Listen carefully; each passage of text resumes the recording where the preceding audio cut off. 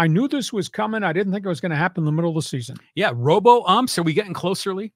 Rob Manfred this week imposed a change. You know, minor league baseball has operated with an automated strike zone, kind of an experiment for two years. Hasn't been very consistent, has not gone down very well. Rob Manfred imposed a change on AAA baseball, the Pacific Coast League and the International League.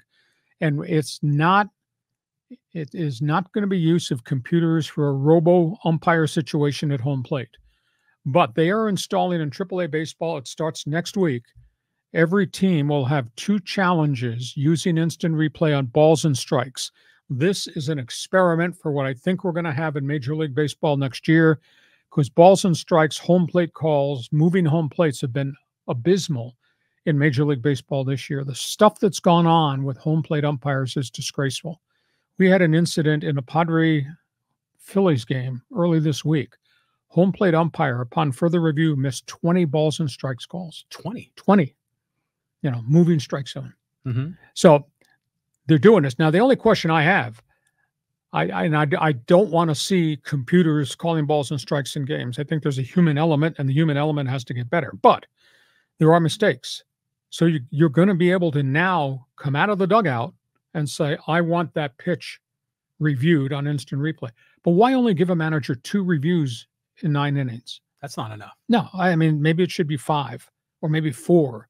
Or if you, you give him four and he gets one, he gets an additional one if he's right. But they're only limited to two. At least that's what they're doing in AAA baseball. Um, I don't. Do you like that? I'd like the challenge rather than, rather than have the robo ump with the computers and all that.